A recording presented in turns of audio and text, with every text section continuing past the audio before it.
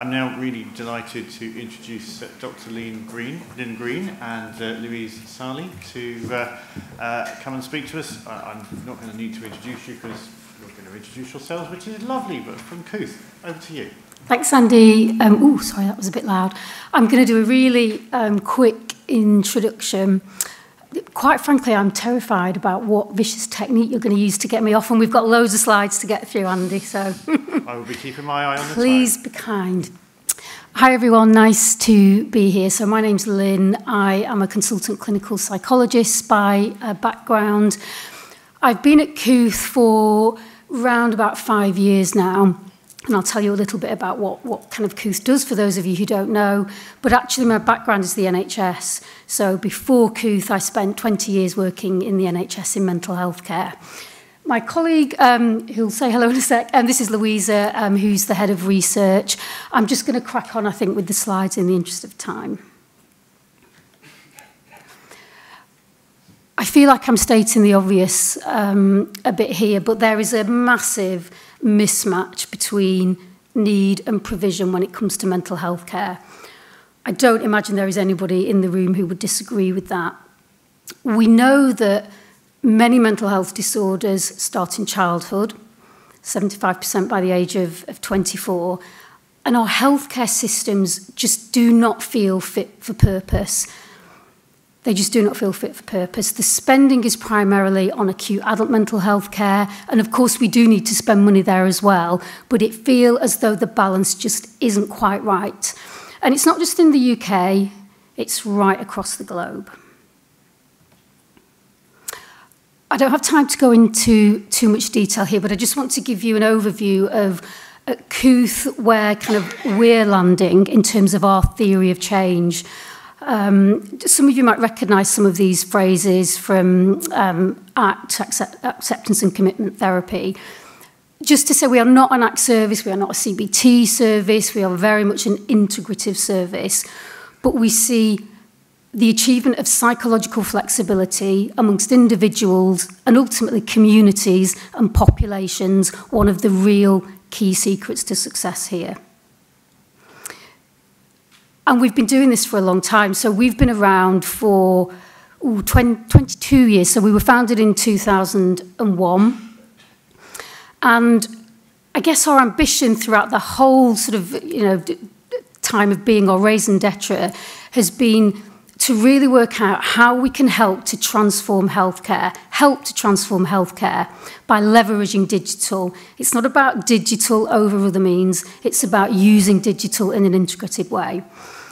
And there are three broad pillars that we started with, and these are still pillars that we use today.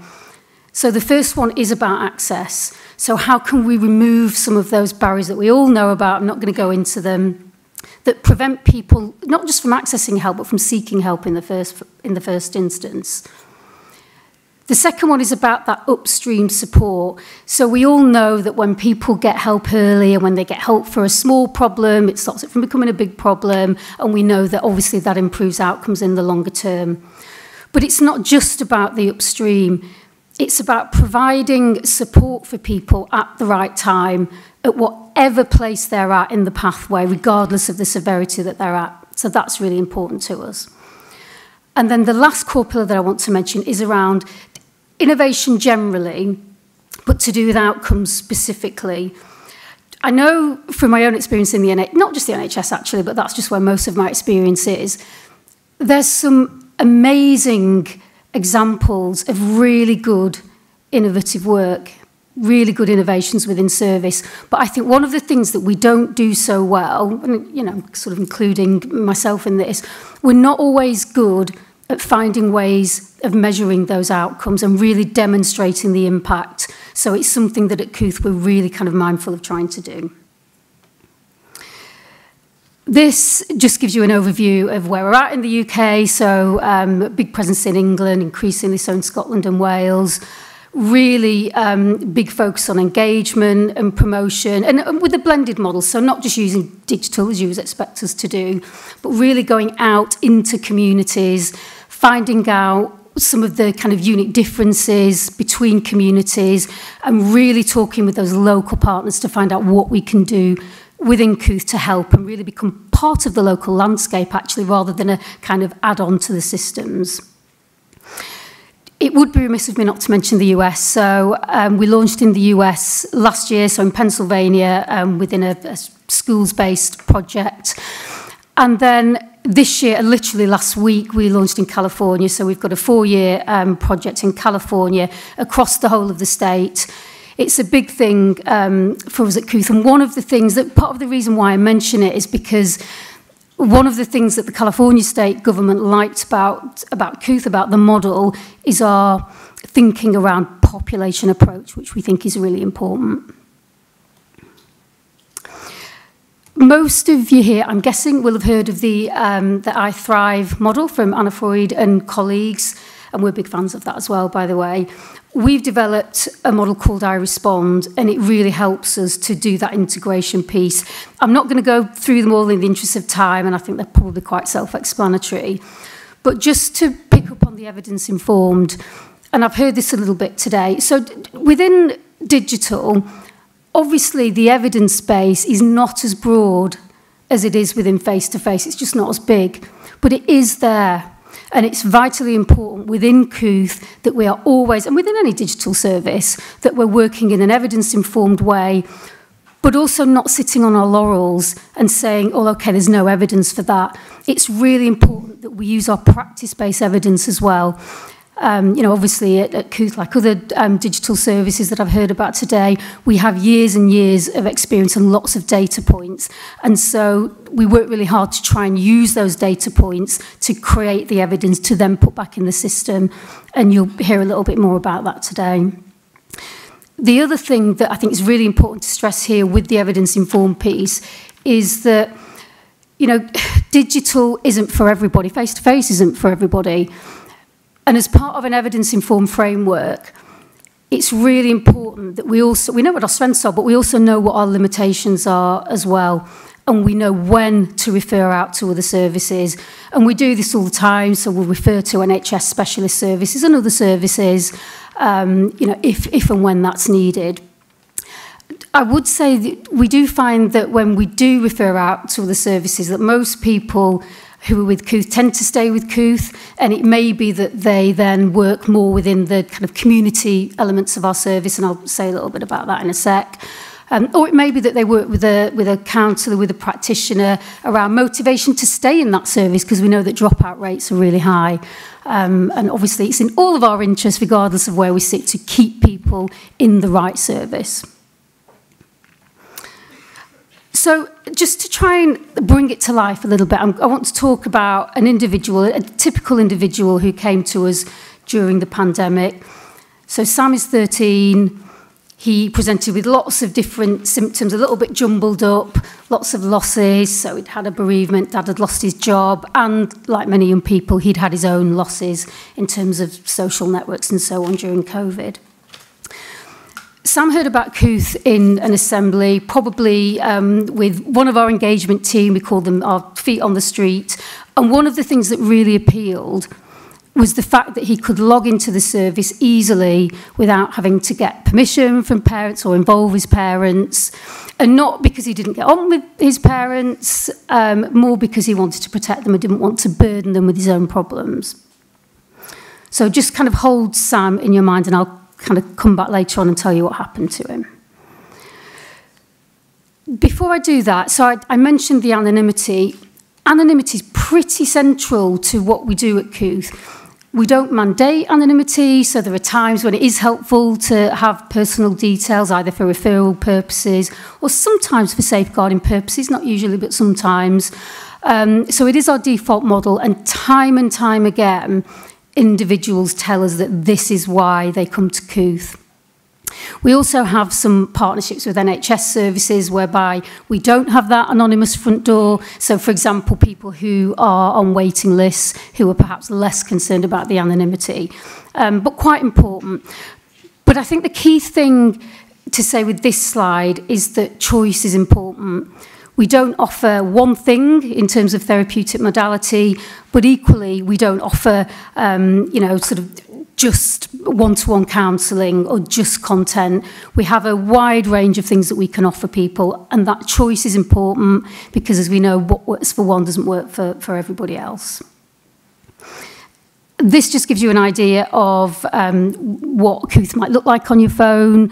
Um, it's very easy to access. You can access it on any tablet um, or laptop, so I won't dwell on that. I really want to show you this. So I mentioned there are kind of different elements of the site that people can access. So broadly, this slide shows you kind of two um, kind of different sets of activities. The first one, so the one at the bottom, is what we call self-directed. So that's your community, your discussion board, your interaction with peers, content, all of these sorts of things. And then at the top, we've got what we call our professional support. And as you can see, I should say this um, is uh, children and young people. We do have an adult service as well, and it's kind of split. So you can see with our young people, it's broadly 60% in the self-directed versus 40%, and it's the other way around with our adults. One of the things that people often find interesting with this slide is the small number of people, that 5% of users who are in that structured counselling intervention. It's not too surprising for us because we've seen this pattern over years and this has been kind of built up from our theory of change. If you look at the mode number of sessions for most traditional psychological therapy services, it's actually one. Yet while single sessions is very well established now, um, you know, kind of very well known within the NHS. There's no way of measuring it. So back to that point about innovation around outcomes, there is no way of measuring the effectiveness of a single session. There are experience measures, but there is no way of measuring the effectiveness. So one of the things, you know, back to that practice-informed evidence, kind of throwing it into the whole kind of evidence um, domain, we spent three years building a measure. Um, we've had it validated with the Anna Freud Centre, and fingers crossed, we're hoping that next year this will be in the MHS DS for everybody to use, so face to face as well as digital services, because they've been validated in, in both areas, and we've got a separate measure for children and young people. So let me just take you back to Sam and then I'm going to come back to him at the end as well. So I've described um, very quickly whistle stop tour, the sorts of things that we offer. So what did Sam do? So he Sam didn't come to the service asking to speak to a therapist like you know many people don't. He used the online journal and just started writing what he was thinking and feeling in that. It was actually within that journal that his worsening presentation was identified. So we have a team of moderators. Um, the moderation is all um, done by humans. We do have some a, um, AI to support that, but the AI doesn't replace the human moderation. So it was through that moderation um, that it was suggested that he might want to um, meet with a counsellor, which he did. And then alongside that counselling, the counsellor recommended that you know, Sam perhaps would benefit from getting involved from some like-minded young people, which he did. He attended forums, um, really kind of started to feel that he wasn't alone. And then it was actually the young people, his peer group, who recommended some activities for him. So that's what he did. I'm going to hand over to Louisa to talk a bit more about the impact in the wider sense, and then we'll come back and think about the outcome for Sam.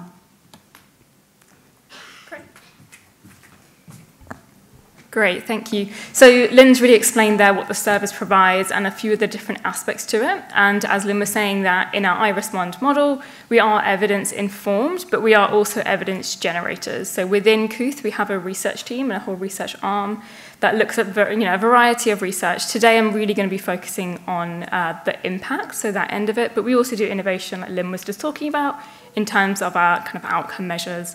Um, and we have over 17 years worth of peer review uh, publications. So if you're interested in any, come find me after. Okay, so here today I'm going to be talking through a little bit of our, our um, evidence, and this is really looking at how we invest in our evidence generation right from the individual impact to more community-based and then our system and financial impact.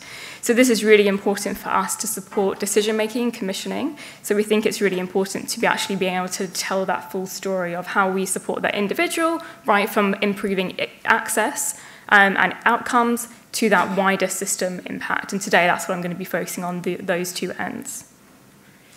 Okay, so firstly, I'm just going to talk a little bit through um, the access point and, and how we're, over that 21 or 22 years, we've been really pioneering and improving that digital access.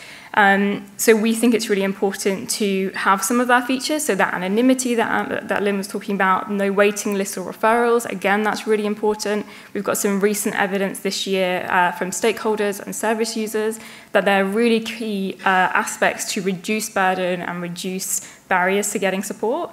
And this is particularly important to increase access from um, seldom heard groups. Um, this is also very important at the moment. We're really pioneering to support the uh, NHS inif initiatives, for example, the Core 20 plus 5. Um, and what we see is that we have a lot of teams on the ground. We don't only rely on our digital uh, marketing and impact, but we really have a lot of engagement teams on the ground working in our community settings and embedding in that local um, community. And what we see is we already see some really great outcomes from this. So, for example, in ethnic minority groups, we see Typically, they would be underrepresented in um, early, interve early intervention and prevention services, but we see they make up around 21% of our access across our CYP and our adult services. And that's, you can see, there's an over-indexing compared to 18% of the population in the UK. Again, we see this is very interesting with our gender identities. 5% of our service users identify as non-binary genders compared to 0.5 to 2% of, sub, of uh, the UK population. So that's really important that we are able to provide access to those seldom heard groups. Um, and we see really interesting differences in our in engagement uh, with the platform at that point. It's very important to have that activity uh, and engagement at the front end because you're, you're not going to see those wider impacts unless you really have that engagement. So we can see here, here I'm talking a little bit more about if we have that positive integration, what are those longer term ripple out effects that we'd be seeing? And those positive effects that we've been uh, theoretically talking about are things like healthcare, education, government, judicial, and all of those would be wrapped into those economic cost savings. So I'm going to talk you through um, now how we kind of map that evidence. So we've taken that from the theory point of, point of view, and now we're actually looking at how do we um, start building on that early into early uh, evidence modeling. So here we're basically saying that we uh, improve access and individual outcomes, and that has a positive impact on social and healthcare systems. So um, the, the first box here is looking at our presenting issues in Kooth. These aren't all of our presenting issues, but this is some of them. It's important to note that we're non-diagnostic as a service, so these are presenting issues and concerns, but they're not diagnostic criteria. So we can see here around one in four young people uh, present with suicidal ideation or self-harm, and then around 71% uh, have emotional behavioural difficulties. So we see the prevalence is quite high, especially for early intervention and prevention service. We do see very high need coming through, probably related to that the fact that we have no waiting lists or no thresholds. So that really kind of lends itself to we will get a lot of uh, uh, a range in severity coming through. The middle column here is talking you through um, a very brief amount of the outcomes from our LSE evaluation. So LSE conducted a one-month uh, kind of cohort case control, and they were basically uh, found some, some nice outcomes. These are only a few of the outcomes. If you're interested, we can kind of point you in the direction of these. But you can see here that we have a reduction in suicidal ideation, self-harm, and emotional behavioural difficulties over that one-month period. That was only looking at individuals that had the community and the self-help um, community and the, the chat-based uh, aspects. So again, that's only one month period, but then uh, we took that through with uh, York Health Economics Consortium, so experts in health economics, and worked with them as well as clinicians and um, commissioners to basically discuss some of the, the longer term outcomes. And these are things like reduced GP visits, uh, reduced antidepressant prescriptions, uh, reductions in hospitalizations due to self-harm and suicidal ideation, as well as some, some uh, kind of milder uh, effects, for example, reduced crime, reduced binge drinking and smoking, those types of things, as well as positive uh, impacts on educational attainment. One more minute. Yep, that's fine. Um, and here you can see that this is kind of the cost breakdown of that. So what we see here is this is actually um, following a, uh, a typical contract that we have. This is um, basically showing the, the cost breakdown of what we would expect to see. So what YHEC did is they looked at our, um, our change points and then mapped that onto what they would expect to see within this population. And this is important to note that this is only our emerging mental health need group.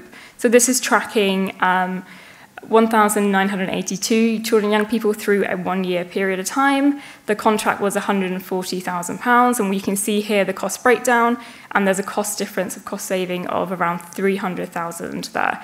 Um, so you can see that some of the big ticket savings there, so this is cost benefits, so if they invest in us here, they'll save somewhere else.